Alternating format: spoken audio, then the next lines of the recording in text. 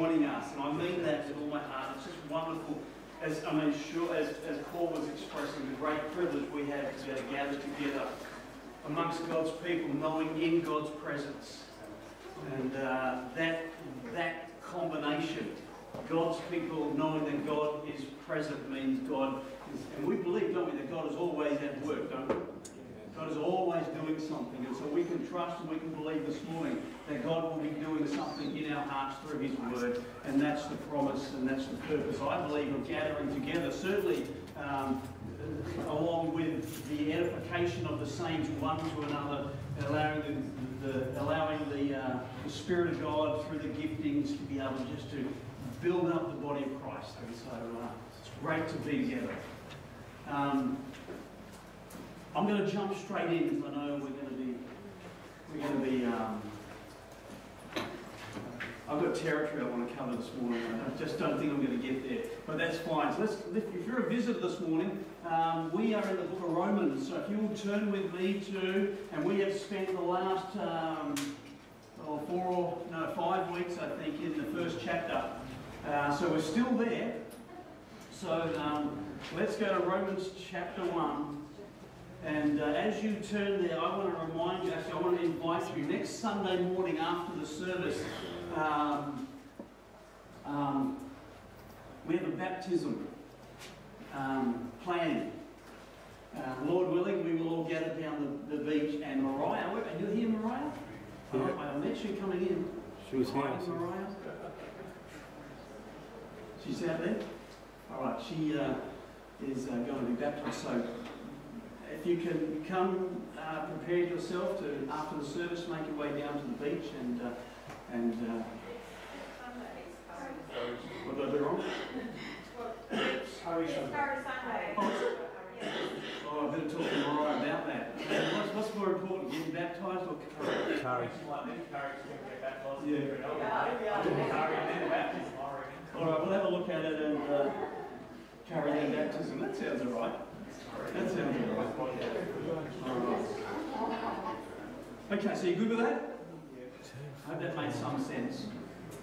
Um, okay, so last uh, last week we were in Romans, and um, can, I, can I can I request that we turn that? Yeah, I'm off? trying.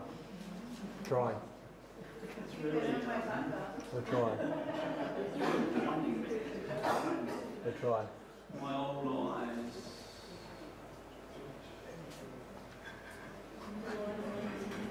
Well, don't do that. Go. No. That's good. You can leave the light on. He wants me to go this way. He wants me to go this way. He wants me to get a tan. Yeah, we'll, we'll get there. All right, enough frivolity. Let's get on with this. Last week in Romans, we saw how Paul was unfolding what we have called the downward spiral towards unbelief. This is a this is a, a challenging chapter, but it's one that we dare not ignore. And so he began uh, where we began with him in this portion in verse 21. So if you'll just read that with me, I've got to take you back a little bit so we can go forward. Um, where it says in verse 21, he says, Because although, after having talked about, remember from the weeks before, after having talked about the wrath of God, um, and prior to that, the, the righteousness of God being unveiled, he moved on. And last week we saw in uh, verse 21, he says, Because although they knew God, they did not glorify him as God, nor were thankful, but became futile in their thoughts, and their foolish hearts were darkened. Professing to be wise, they became fools and changed the glory of the incorruptible God into an image made like corruptible man, and birds, and four footed animals, and creeping things. And what this says, again, as we looked at this last week, what this says is that human history is not the story of primitive man or primitives worshipping animals and all types of idols who never knew the true and the living God or never heard of God, the God of the heavens and the earth, and never understood who He really is, to then go from that, not having known God, to then slowly evolve into man who worships the true and the living God. History, that is not mankind's story. That's not history. The opposite is true. Because how was man created? Man was created in the image of God and man began his journey on this planet in, in the fellowship with God. And the perversion of that truth of God began when mankind began to not honor him as God. And it's very important that we recognize this truth.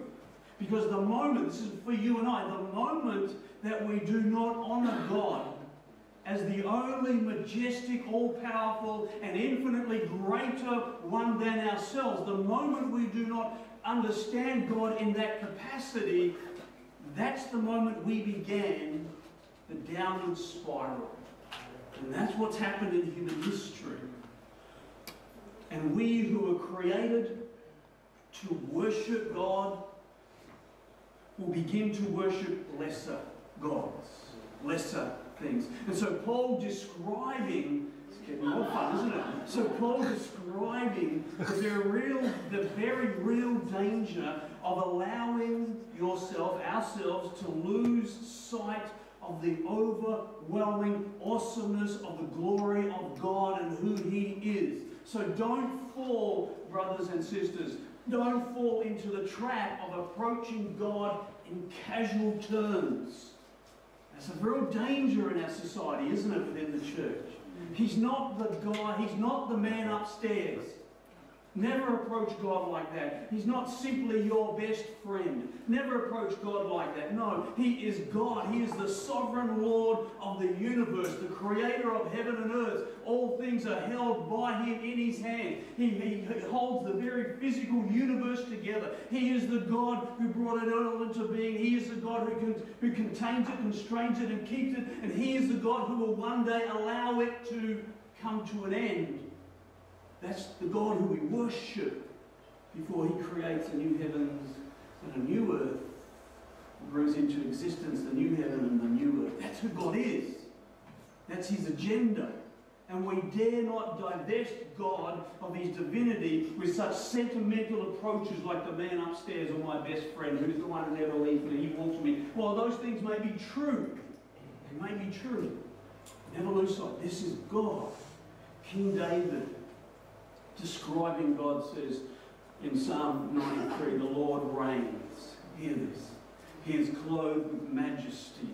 The Lord is clothed with strength. He goes on to say, Lord, your throne is established of old. You are from everlasting unto everlasting. He continues on in Psalm 47. You, can, you, you read this from the heart of David, the man after God's own heart. He says, God sits upon the throne of his holiness as he reigns over all men.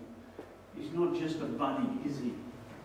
He's not just that man upstairs. So never lose sight of God's holiness and his magnificence. In humility, we must always show great reverence to the Lord and to his name. To his name. Remember, Paul here is giving warning, declaring that God's wrath was being, or is being, continues to be, always has been, being revealed from heavens against all ungodliness and unrighteousness, as it says there, of people who do what? Who suppress the truth in unrighteousness. The truth that people suppress and reject is that He is the one true God and that He should be honoured and He should be worshipped and He should always be esteemed as God.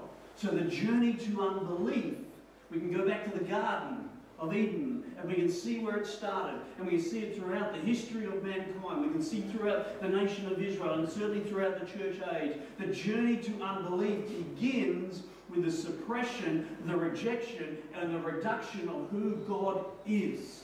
That's where it starts.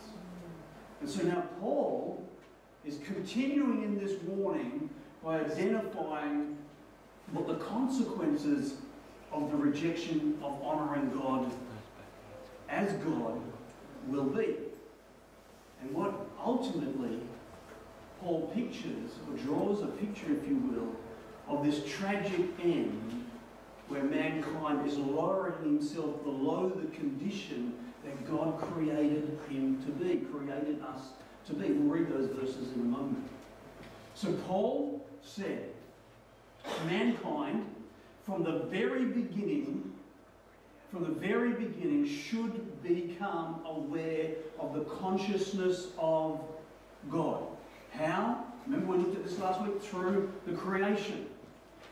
But again, they chose to suppress that truth and so rather than opening, we can see this up in mankind, rather than opening himself up to the reality of the existence of such a glorious God, a glorious God of intelligence, design, and purpose, which is evident throughout the creation. And so rather than opening themselves up to it, they closed their hearts to it. And Paul says their foolish hearts were darkened to the truth and having rejected God, man now exalts not God, but who? Man now exalts himself. Man now has rejected the knowledge of who God is and now exalts the knowledge of himself. We were created by God. We know this. We were created by God to live a God centric existence, a God centered existence which for you and I as Christians means putting God first and allowing every activity in life to flow from the premise that God is the one who sets the priorities of life. God is the one. And so we have confidence in this God. This is what it is to have a God centric, a God centered life. We have confidence in God. We are dependent upon Him and all of His abilities to be able to provide for us every step of the way. We believe that God is with us, don't we? We believe that He will never leave nor forsake us, don't we? We believe He will provide all our needs according to His riches and glory, don't we? We believe it. This is what it is to have a God centric, God centered life. It's on His abilities, it's on His provision. Life is focused on Him and all of His activities, His purposes. Therefore, we come to Him in humility before this God. We deny self. We deny ourselves. We seek first the kingdom of God and what? And His righteousness. We always seek after. This is very important, this last statement. We always seek after God's perspectives in every circumstance of life, in that holy living, in that holy, godly living.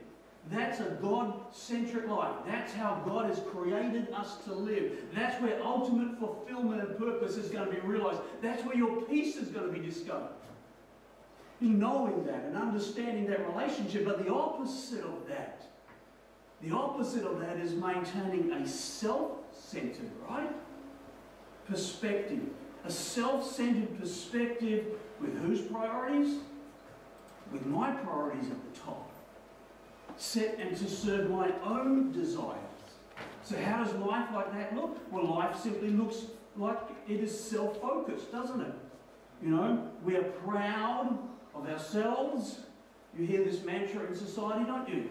We are proud of ourselves. We are proud of our own accomplishments. We have confidence in ourselves. And we become dependent upon ourselves. And we're dependent upon our own abilities. And we are seeking ultimately acceptance not from the God of heaven and earth, but ultimately we are seeking acceptance from the world and its ways apart from God's purpose in our lives. It's called selfish living. That's, a, that's the opposite. That's a self-centered, human-centered life. One is based upon the knowledge of God. The other is centered around rejecting God's knowledge or rejecting God's principles to do what? To pursue my very own. Paul says, Paul says that men have suppressed the knowledge of God and they have exalted their own knowledge. And verse 22 says, if you remember from last week, verse 22 says they have become fools. Man has grown harder and harder and, and, and they have become, oh, darker and darker in our minds and our hearts until finally, and you see this, until finally there is no remembrance of the true and the living God at all. Hmm. That's this downward spiral towards unbelief. Until there is no remembrance, no place for God in their hearts.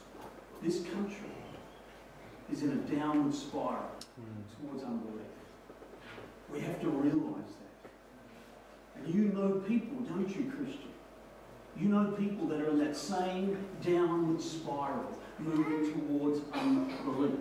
And what verse 24 begins to tell us is the very so that's where we're at by the way. Verse 24 begins to tell us the very sobering reality that when we as an individual or we as a nation give up on the knowledge of God, God ultimately will give up on us.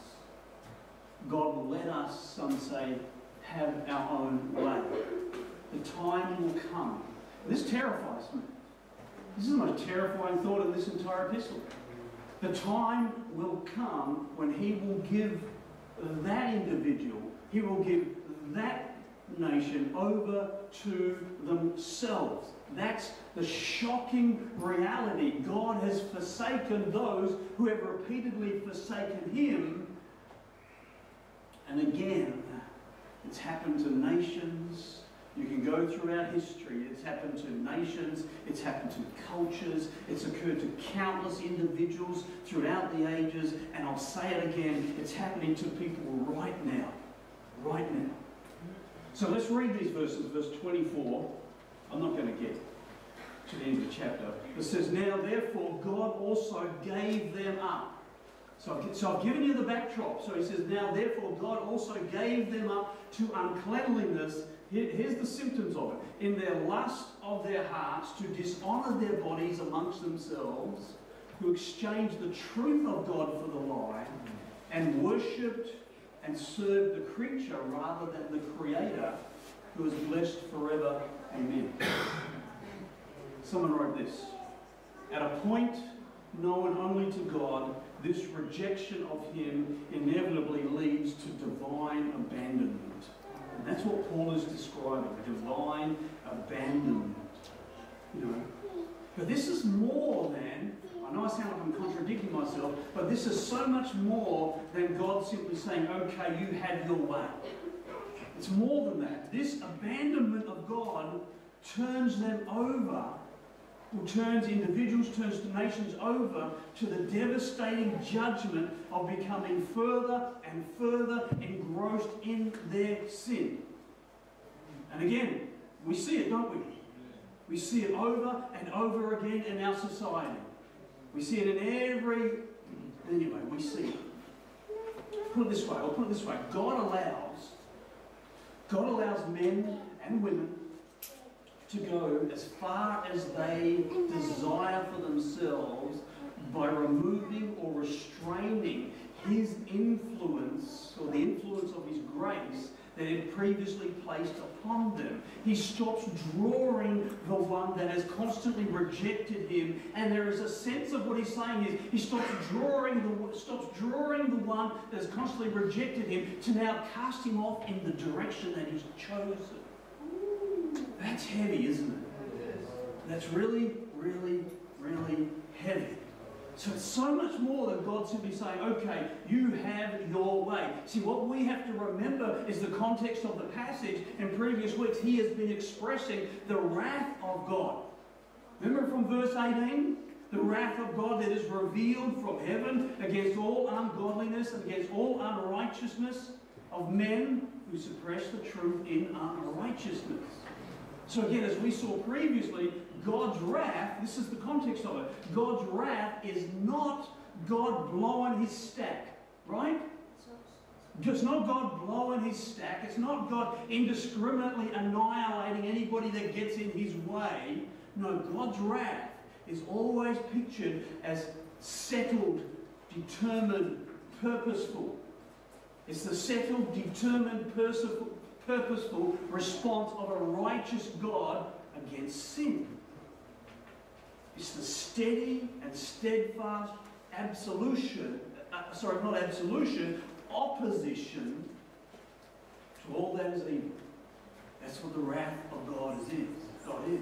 And so when God gives someone over to their sin, it's not simply cause and effect.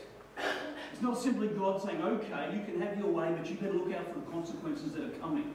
No, no, no, no, no. This is the outworking of God's personal decision to hand over a person or a nation unto their sin. It's God's purposeful wrath. You've got to understand that. Again, He withdraws His restraining and His protective hand, allowing the sins of the people to take their inevitable destructive course, and God is purposefully involved in that.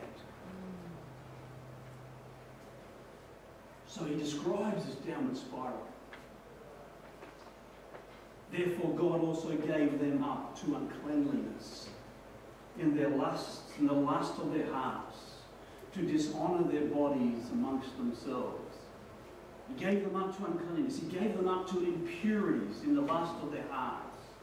And he's talking about lust. You know, we understand lust, right? He's talking about lust that grips a person's heart, that grips a nation's heart. And he's speaking about the strong craving for the things that are impure. And, and, and ultimately here he's talking about impurity of sexual sin. And, God, and again, God handing them over to these impure lusts, it speaks of this downward descending from bad to worse. They picture, Paul is picturing a society that is plummeting lower and lower and lower, plummeting downward, downward, edward, downward into sexual immorality. And it comes, and you know, oh, do I want to describe this? No, I don't.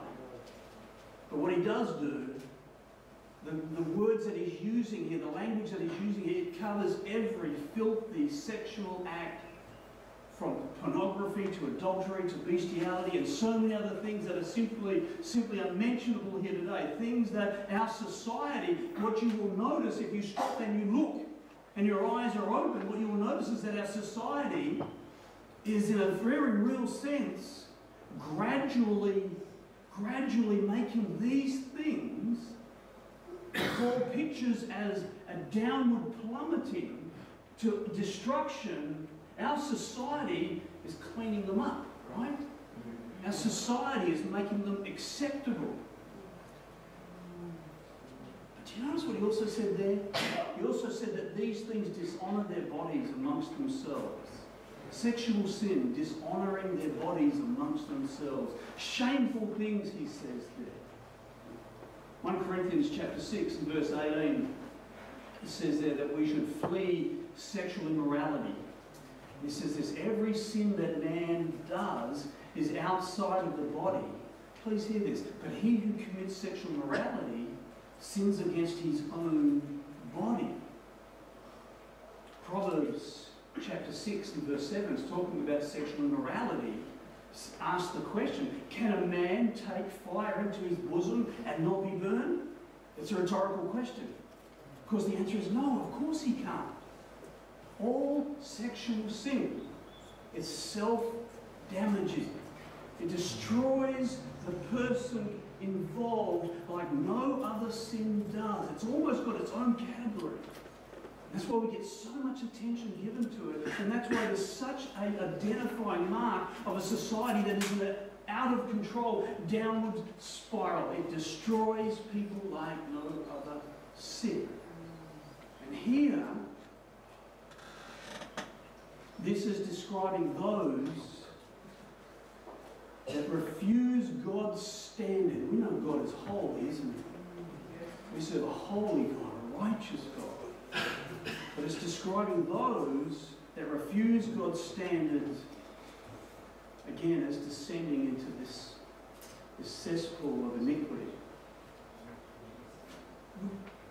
Do you agree with me? Free fall out there, isn't it? it, it it's in free fall.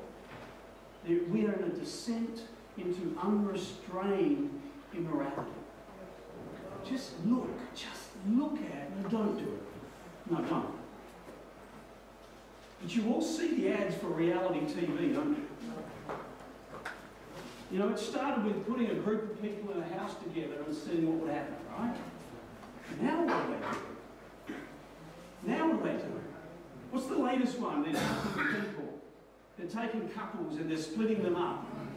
And they're putting them with other couples. Mm. And just waiting to see what's going to happen. And this is great entertainment. See what I mean? You know, our society is cleaning up, trying to make that which is evil look good. It's a sign, isn't it? That we're really lost the knowledge of God. It's a sign that we're out of control. So he begins with immorality. We don't need to label this like we already have, right? So he begins with immorality, and then he moves from immorality, he moves on to idolatry. Notice what he says there in verse 25. They are those who exchange the truth of God for a lie and worship and serve the creature rather than the Creator who is blessed forever. Amen. Here's the thing, and you know this, you don't have to worship foreign gods. You, don't have to set up an idol of, of uh, Apollos in your backyard. You don't have to, you know, do any of that. Uh, there's, there's plenty, isn't there? There's plenty of things that people are worshipping. What they worshipping? There's affluence, there's materialism, there's status, there's ego, there's selfishness, there's you, there's self, there's the body beautiful. Aren't we good at worshipping that, aren't we? You know, there's the body beautiful, there's careers, and uh, I think we could just go on and on and on. There are gods aplenty in our society that people are worshipping every single day. He says what they have done, they have exchanged exchange the truth of God for the lie. And when he says exchange, the word exchange, he uses it three times in this, in this passage. He says they have taken something and they have willingly acknowledged and purposefully changed it for another truth. So they've looked at this, they've looked at what God has given us, they've said, no, this is not acceptable to our desires, to our passions, to our goals, to our knowledge. No, we want to get rid of that, and we have exchanged it for all this other stuff. This filth. Exchanged it for immorality, have exchanged it for idolatry. He says they've exchanged the truth of God for definite, definite article, the lie. Again, they once had known the truth of God, but they have rejected that truth of Him, and they believed the lie. The lie being worship had served the Creator, the creature, rather than the Creator. Again, we go back to the garden, we see where it all started.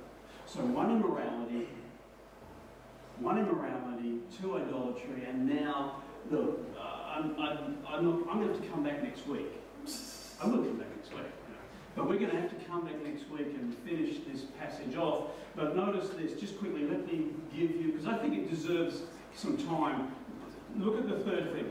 We read here, For this reason, God gave them up to vile passions, for even their women exchanged the natural use for what is against nature. Likewise, also the men leaving the natural use of the women burned in their lust for one another, men with men committing what is shameful and receiving in themselves the penalty of their error, which was due, even and even as they did not like to retain God in their knowledge, God gave them to a debased mind to do those things which are not fitting. So God gave them over. Well, this is clear as the day, isn't it? God gave them over to what is clearly describing lesbianism and homosexuality. Now, I, I, don't, I don't want to even, maybe I will next week, because I'll have more time next week. But I don't want to go into the foolish arguments that people want to present or try to attempt to say that the scripture here is not addressing that sexual perversion and is described as sexual perversion. I'll I'll save those for next week. I'll talk about those next week, but I'll come and we'll do that. But the interesting thing, let me say just a couple of really quick things. The interesting thing is that the scripture here does not use the normal words for man and woman when it talks about this. Because when you talk about a man, if I go, you know, Jim is a man, Donna is a woman, those those, those, titles, if you will, really, the, a man, a woman, there's dignity attached to that, isn't there? A woman, you know, a man. But what Paul does here is he changes, he doesn't use that, he goes male and female. He goes male and female. So rather than using the dignity of those personal terms, he uses these categories male and female. And what he's doing, he's directly addressing the issue of the perversion of sexual orientation. How relevant is that for us today? You know? He is directly addressing the issue of the perversion of sexual orientation that God has ordained, that God has designed. So literally it says female exchange the nature, so females exchange the natural use of what is against nature. Likewise, the males leaving the natural use of the females burn in their lust for one another, males with males committing what is shameful. Paul is clearly pointing, and again I'll come back to this, Paul is clearly pointing to the fact that God has an order in his created purposes. Isn't that right? And he's saying that man has given up on the knowledge of God. His man has given up on God, and God will ultimately give up on him because of that, because of man's choice. You know, when mankind begins to legislate, as our country has done, and many countries in the world have done, when mankind begins to legislate this perversion of God's divine order and purpose for mankind, you know what? We're in big trouble. Yes. We're in huge trouble. Because we're transgressing God's original design. You know? But let me say something. But Jesus in the Sermon on the Mount made it very clear that every single one of us is guilty of guilty of transgressing God's Mm. creative original design Yeah. for life, right? That's why we got saved, wasn't it? Every one of us, as you read the Sermon on the Mount, there is a purpose to the Sermon on the Mount, just as there is a purpose to the book of Romans. The Sermon on the Mount was their purpose to indicate or bring man to the place of understanding that his righteousness will never do. There is only one righteousness. That's why he would say at, the end, at midway through that sermon, Be ye there perfect, even as your Father in heaven is perfect. You know, when Jesus said to the disciples, Hey, unless your righteousness exceeds the righteousness of the scribes and the Pharisees, you will no wise enter the kingdom of God. When they heard that, I'm speaking too fast, slow me down. But right, when they heard that, that must have been a horrible thought to them. Because the Pharisees were, were seen to be as the, as the, the most righteous, practically righteous men in their society. Practically righteous. It's interesting. Chapter 1 here, Paul is dealing with the with unrighteousness. When we get to chapter 2, Paul's going to be dealing with self-righteousness. And by the time we get to chapter 3, what Paul will have done is he will expose that all of humanity is guilty before God. Every single man, woman, and child ever born is guilty before God and needs a Saviour. That's the purpose of this. So it's important that we understand this when we look at this passage and we don't suddenly go, okay, it's the gays. You know. No, no, no, no. I think the church has, in many regards, dropped the ball. You know. Because we are, well, let me pick this up next week. Let me pick this up next week.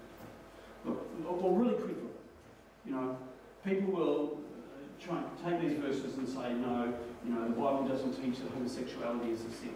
But Genesis chapter 19, very clearly, when we talk about Sodom and Gomorrah, see that it is very relative to God's wrath being poured out upon that community. Leviticus chapter 18, Leviticus chapter 20 clearly says that there's sin in the eyes of God. 1 Corinthians chapter 6 and verse 9, there's a whole list of sins there that Paul brings, that, that, that, that uh, Paul says uh, uh, evidence of those that will be outside the kingdom of God. I believe that's the passage that poor Israel Folau ended up in so much trouble over by quoting that scripture. Um, and of course, here we are in Romans, Apostle Paul identifying a nation or an individual that has given themselves up on God, and God likewise will ultimately give themselves up on Him. This is God's. This is God's design. This is God's order. This is the knowledge of God that He, as I said to you, that He brought into existence for His people to know how to live life in His presence, to be all that God wants us to be. Can I leave it there with you? And can we pick it up and look at this subject with a little more detail next week? Can you recognize, can you recognize, if you read on further down, you will see that, you know, once Paul identifies this particular consequence, if you will, of rejecting the knowledge of God, you see the list that's there? You read on, please read on, because that list will hit every single one of us. Every single one of us, because how wonderful it is. By grace we are saved. Isn't that wonderful? Yes. through faith, and that not of ourselves. Isn't that an amazing truth? You know, even the even the faith to believe in the grace of God is a gift of God. It's imparted to us. It's got nothing to do with us. It's His work. It's what He's doing in His life. A wonderful thing. And so, if you have been a recipient of that wonderful grace, you know, how dare we isolate a, a, a, a, piece, well, I can't find the word. How dare we isolate a segment of our society and say they are more wicked than other. Because, hey, because the church has that attitude, right? Towards the homosexual lesbian community. You know, we see it like that. You know, we almost have this, this perspective whereby we say, hey, you know, you guys have got to get it right and then, then get saved. It's almost that attitude, isn't it? You stop doing that and God will accept you. Did he say that to any of us? Did he say that to any of us that were steeped in immorality? Did he say that to any of us that were living in sin? Did he say that to any of us that were, were you know, willfully and purposefully living against what we knew to be true? He didn't say it to any of us, did he? He said, Come. Come. Find forgiveness. Find acceptance in God. And then God does the work. We say it all the time. Love the sinner, hate the sin. Let's, let's, let's love the sinners. Okay? Let's love them. Let's truly love them, knowing that all men are sinners. Knowing that none is righteous, no not any. Knowing that all have fallen short of the glory of God. Knowing that none saw God, not one, not one. But he drew us unto himself and he saved us by his grace and his love. It's the most glorious truth. Let's be praying, shall we? Yes. Okay, so let me bring it, so I will, I, I conclude here. I'm sorry to, to waffle like that a little bit, but this passage describes where we live today. You know, we don't have to go looking for it, it's all around us, but we've got to guard our hearts. Christian, you've got to guard your hearts, and you've got to remain pure. Guard your hearts with all diligence. Remember Proverbs chapter 4? Because from the heart proceeds the issues of life. Guard your heart. You know, fill it with the things of God. Pursue holiness. Pursue righteousness. Allow God to fill you, and from your life will come those things. So guard your purity is what this, what this passage says to you and I. Guard your purity, and then refuse to allow anything into your life that can usurp itself into a position where Christ should be sitting upon your heart. Isn't that right? That's what this passage says to you and I today. You know, I, I always say to young couples that are getting married, I say to them, you know, it's up to you, it's up to you to make sure that you do not allow any relationship into your lives and give it space to be able to usurp itself. We have that, we have that term, you know, we say, oh, I fell out of love, or they fell out of love. It's rubbish. It's rubbish.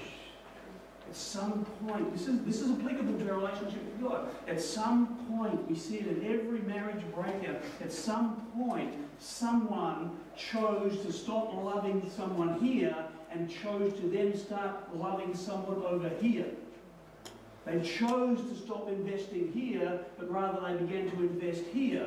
And because they were investing here, the emotions and everything that goes with love was transferred from there over to here. And so now they're over here looking back there saying, oh, I fell out of love with that person, I fell in love with this person. No, you didn't. And the same thing applies to God. Put Him first. Seek first the kingdom of God and His righteousness. And let, let God take care of everything else, you know. It's loving Him, Pour yourself into Him. Don't allow anything of this world to sneak into your life to usurp that place upon the throne of your heart. It's Jesus and Jesus alone that sits there. Amen? Amen. Let's pray and uh, uh, as the worship team, we want to finish with a feel of worshiping God one more time? Yeah? Let's end with worship. God bless you all. Thank you. Um.